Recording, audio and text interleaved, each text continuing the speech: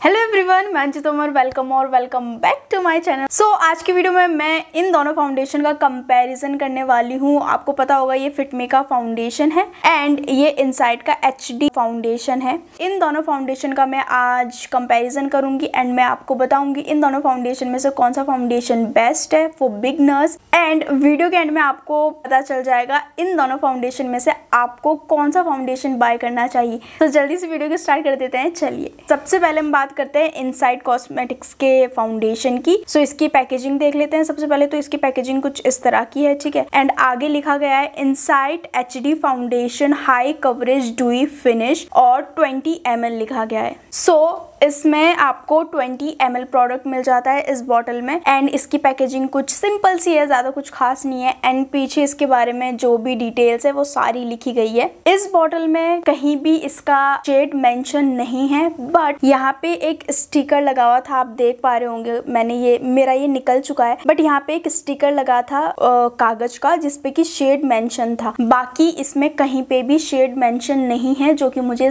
Foundation का खराब लगा। अगर आप आपका वो जैसे मेरा टैग निकल गया है तो अब मुझे नहीं पता है इसका क्या शेड है। जब तक कि आपको अपना शेड पता ना हो इस फाउंडेशन में। सो so, ये चीज़ मुझे इसकी खराब लगी। ना अगर मैं इसकी शेड की बात करूँ तो इसका जो शेड है जो मेरे पास है वो है एल एन टेन एंड इसमें आपको सिक्स टू सेवन शेड्स में फाउंडेशन मिल जाता है। अगर मैं इसकी प्राइस की बात करूँ तो इसका जो प्राइस है वो है टू ट्वेंटी रुपीज़ बट ये आपको टू हंड्रेड में इजिली अमेजन फ्लिपकार्ट पे मिल जाएगा। नाउ अब बात कर लेते हैं हम फिटमी फाउंडेशन की। सो so, ये जो फाउंडेशन है वो कुछ इस तरह की पैकेजिंग में आपको रिसीव होता है। एंड पीछे इसमें इस तरह का है। एंड इसमें बहुत ही क्लियरली मेंशन है आपका बड़ा बड़ा जो भी शेड होगा, वो बड़ा बड़ा लिखा हुआ होगा। जैसे कि मेरा 310 है तो यहाँ पे आपको इजीली दिख पा रहा होगा। एंड इसमें लिखा हुआ है Maybelline New York fit me matte plus poreless normal to oil skin S P F twenty two and तीन सौ दस इसका शेड है। ठीक है? एंड इसके पीछे इसका प्राइस वगैरह सब कुछ लिखा गया है। इस फाउंडेशन में आपको कम से कम सिक्सटीन टू एटीन शेड्स मिल जाते हैं। तो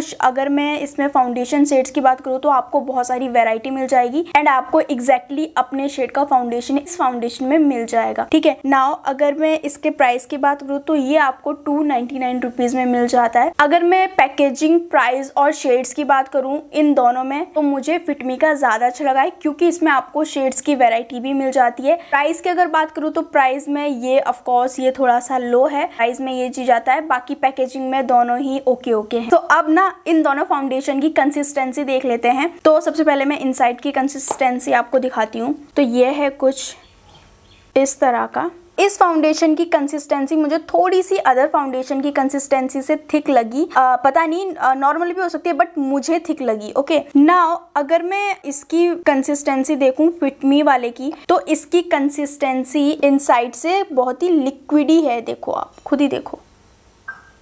नाउ अब हम बढ़ते हैं सबसे मेन पॉइंट पे इन दोनों की कवरेज इन दोनों में से किस फाउंडेशन की कवरेज अच्छी है? सो so, मैं इसको इस फाउंडेशन को मैं आई थिंक तीन साल से यूज़ कर रही हूँ एंड इस फाउंडेशन को I think eight to nine month से यूज़ कर रही हूँ. ये जो फाउंडेशन है आपको मीडियम से थोड़ी सी हाई कवरेज देगा बट फुल कवरेज नहीं देता है। यहीं पे अगर मैं फिटमी के कवरेज की बात करूँ तो जो फिटमी का फाउंडेशन है, वो बोलते हैं कि ये मीडियम कवरेज देते हैं। बट मुझे ऐसा लगा है, इसको मैं तीन साल से यूज़ कर रही हूँ, मुझे इसकी जो कवरेज है, वो मीडियम से भी बहुत कम लगी है। तो अगर मैं कवरेज की बात करूँ तो इन दोनों में से कवरेज के मामले में इनसाइड का जो फाउंडेशन है, वो ज़्यादा अच्छा है। और नेक्स्ट जो पॉइंट रहेगा, वो रहेगा ब्लेंडिंग प्रॉपर्टी इन दोनों में से किसकी ज़्यादा अच्छी है? तो ब्लेंडिंग प्रॉपर्टी जो है, वो फिटमी की ज़्यादा अच्छी है इनसाइड से। इनसाइड में थोड़ा सा आपको ब्लेंड करने में टाइम लग सकता है बट जो फिटमी का फाउंडेशन है, इसमें आपको बिल्कुल भी टाइम नहीं लगेगा। ये इतने ज़्यादा जल्दी ब्लेंड हो जाता है कि आपको पता भी नहीं चलेगा बट इसमें ये थोड़ा सा टाइम लेता है ब्लेंड होने में, ठीक है? तो ब्लेंडिंग प्रॉपर्टी में मेरे को फिटमी का ज़्यादा अच्छा लगा है। नेक्स्ट पॉइंट है फिनिशिंग इन दोनों फाउंडेशन को अप्लाई करने के बाद किस तरह की फिनिशिंग आती है और किसकी ज़्यादा बेटर फिनिशिंग आती है। अगर मैं इनसाइड फाउंडेशन की बात करूँ तो इसकी फिनिशिंग काफ़ी ज़्यादा अच्छी है। मैं ये नहीं कह रही हूँ कि बहुत ज़्यादा अच्छी है बट अगर मैं फिटमी से कंपेयर करूँ तो फिटमी के मामले में इसकी फिनिशिंग थोड़ी सी कम पड़ जाती है, क्योंकि ये जो फाउंडेशन है, जब आप इसको अप्लाई करते हो, पहले तो ये ब्लेंड बहुत ज़्यादा ईजिली हो जाता है एंड ये आपको पोलेस फिनिश देता है। अगर आपके बहुत ज़्यादा लार्ज पोर्स हैं और इसको आप यूज़ करते हो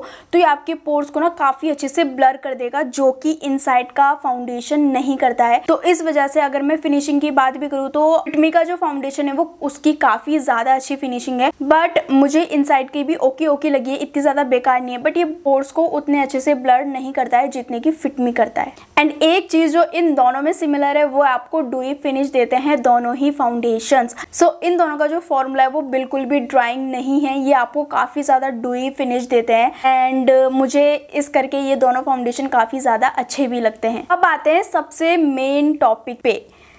इन दोनों फाउंडेशन में एक और चीज़ सिमिलर है जो कि है ये फाउंडेशन काफ़ी ज़्यादा काले पड़ जाते हैं। अप्लाई जैसे जब भी आप इन दोनों फाउंडेशन को अप्लाई करते हो विद इन वन हार ये आपको काफ़ी ज़्यादा आपके शेड से काफ़ी डार्क कर देगा। सो so, अगर आप ये दोनों फाउंडेशन बाय करो इन दोनों में से कोई भी फाउंडेशन बाय कर रहे हो तो हमेशा आप अपने शेड से दो शेड लाइटर फाउंडेशन लेना क्योंकि ये काफ़ी ज़्यादा काले हो जाते हैं। दोनों ही बराबर ये नहीं कि इनसाइड का ज़्यादा हो रहा है फिटमी का ज़्यादा हो रहा है दोनों बराबर काले पड़ते हैं। तो ये चीज़ मुझे इन दोनों फाउंडेशन की बहुत ज़्यादा बेकार भी लगती है। नाउ ये थी इन दोनों फाउंडेशन की सारी चीज़ें जो कि मैंने आपको बताई। अगर मैं बात करूँ मुझे इन दोनों फाउंडेशन में से कौन सा फाउंडेशन बेस्ट लगता है तो ऑफकोर्स मुझे फिटमी का बेस्ट लगता है क्योंकि इस फाउंडेशन में काफ़ी एक्स्ट्रा चीज़ें हैं इस फाउंडेशन से। जैसे कि पोलस फिनिश आपको देता है एसपीएफ आप, आपको मिल जाता है एंड आपको मेट फिनिश भी देता है तो ये चीज़ अच्छी है। बट अगर मैं इनसाइड की बात करूँ तो इनसाइड में इसकी कवरेज काफ़ी ज़्यादा अच्छी है एंड इस करके मुझे ये वाला फाउंडेशन भी काफ़ी ज़्यादा अच्छा लगता है। आपको इन दोनों फाउंडेशन फाउंडेशन में से कौन सा फाउंडेशन बाय करना चाहिए? तो अगर आप college going school going and beginner हो, जो कि स्टार्टिंग कर रहा है मेकअप की तो आपको इनसाइड का फाउंडेशन यूज़ करना चाहिए, क्योंकि ये फाउंडेशन इतना बुरा नहीं है, काफ़ी ज़्यादा अच्छा है। एंड मैं अपने डेली वियर में इसको यूज़ करती हूँ। अगर मुझे कहीं जाना होता है तो मैं यही फाउंडेशन यूज़ करती हूँ, क्योंकि ये काफ़ी ज़्यादा रीजनेबल है।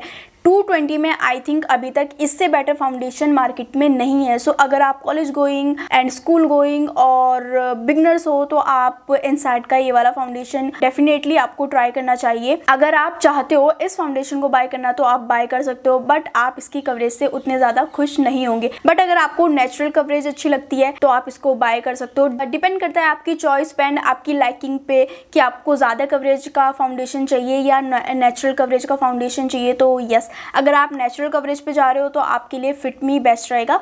और अगर आप थोड़ी सी हाई कवरेज पे जा रहे हो तो आपको ये इनसाइड का फाउंडेशन बेस्ट रहेगा। बट दोनों ही जो फाउंडेशन है काफ़ी ज़्यादा काला पड़ते हैं तो आपको ध्यान रखना है कि आप जब भी इन दोनों को बाय कर रहे हो तो अपने दो शेड लाइटर शेड में ही इनको बाय करना, वरना अपने शेड में करोगे तो फिर आप कोई और ही बन जाओगे।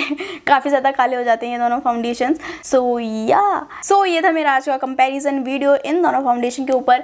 एंड अगर आपको वीडियो अच्छी लगी तो वीडियो को लाइक ज़रूर कर देना। वीडियो हेल्पफुल लगी हो तो चैनल को सब्सक्राइब भी कर लेना। एंड मैं मिलती हूँ आपको नेक्स्ट वीडियो में। Till then bye